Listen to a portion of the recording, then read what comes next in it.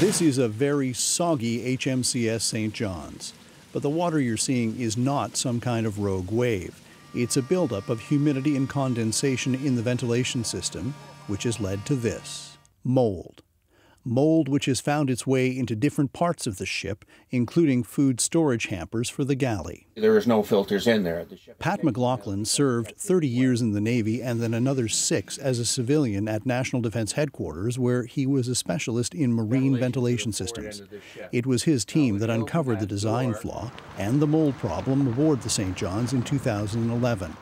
The Navy did follow up engineering studies on at least four frigates, and those reports were obtained as part of a CBC News investigation.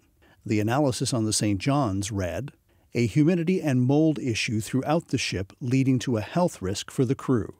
And a year later, more warnings about HMCS Toronto, a significant health risk to ship's crew.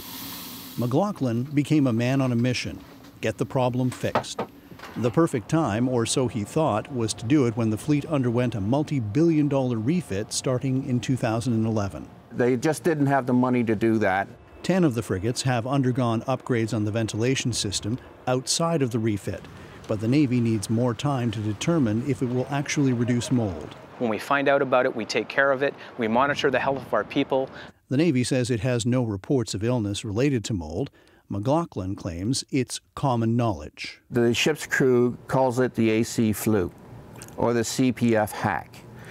Now, if the entire Navy has a nickname for a sickness on board their ship, then obviously you have an issue. CBC News has spoken to a dozen still serving members of the military who say they've been sick on deployment. While none of the conditions was debilitating, the sailors say they want the mold gone. Murray Brewster, CBC News, Ottawa.